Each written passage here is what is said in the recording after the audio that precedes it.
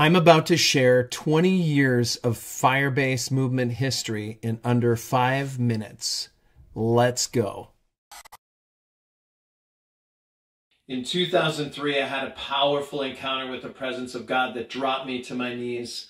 When I felt His love and His peace and His joy, all I wanted to do was to give that away to others.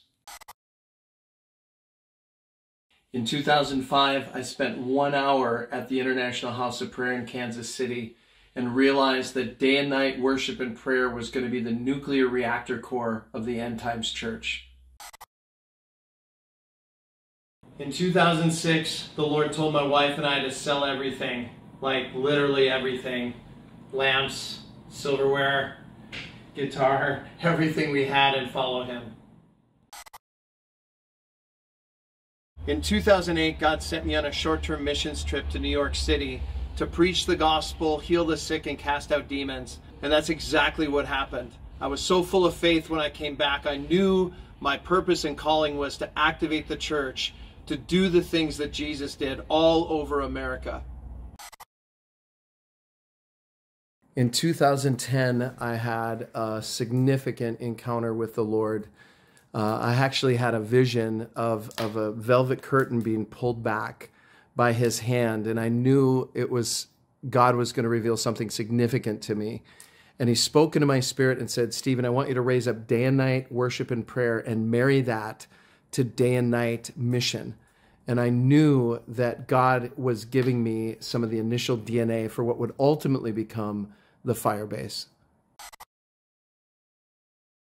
In 2011, we started our very first messenger boot camp, what's now become a 10 week intensive to move people from two hours on a Sunday to actually living as disciples of Jesus, walking in intimacy with the Lord, walking in biblical identity, healthy relationships and family, and of course, mission, evangelism, and discipleship.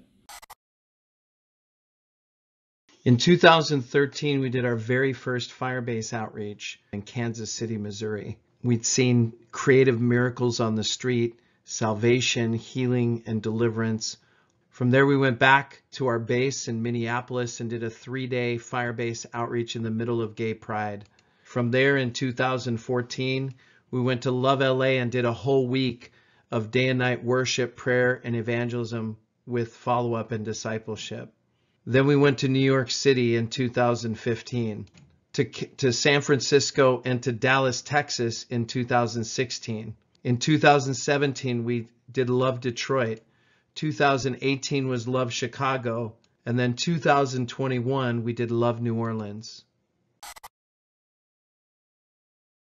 At the end of 2019, beginning of 2020, the coronavirus hit and all ministry shut down.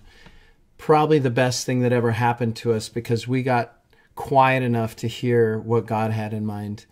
He said, I want you to start focusing not on going and doing week long events, but I want you to establish a permanent mission base in the Twin Cities, a fire base that's going 365 days a year.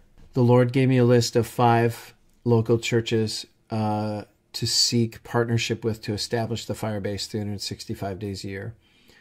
First church said no. Second church said no. Third church said no. Fourth church said no. I started to feel like Mary and Joseph trying to find somewhere to have this baby called the Firebase.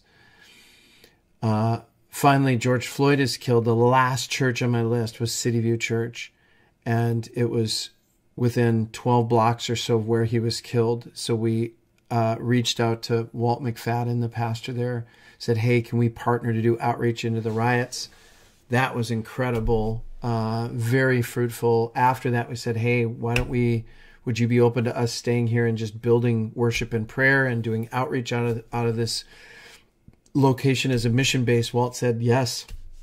The elders said yes. We've been there for several years, and the ministry continued to expand with more worship sets, more outreaches, until eventually we were outgrowing uh, co-locating with them. Fortunately for us, another part of the building opened up and uh, a dedicated space became available to the Firebase for the first time in 20 years. Friday, November 17th from 6 to 10 p.m., the demons are going to be crying because God is establishing a mission base in the heart of Minneapolis that's dedicated to 24 7 worship and prayer and 24 7 evangelism and discipleship. This is why that's exciting. We're going to have 8,000 hours when this thing's fully operational. Of course, it's going to take a while to build up to that.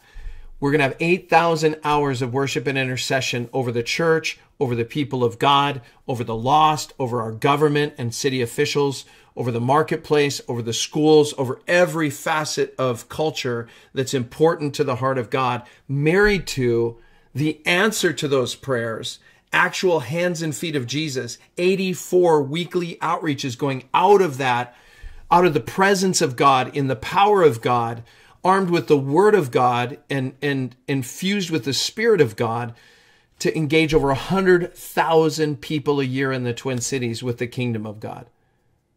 Wow. I think that's worth being part of.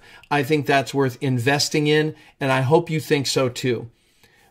I want to see you Friday, November 17th at Firebase Twin Cities for the launch of this missions base that we hope and pray will hasten the day of the Lord's return and bring in the harvest in our city.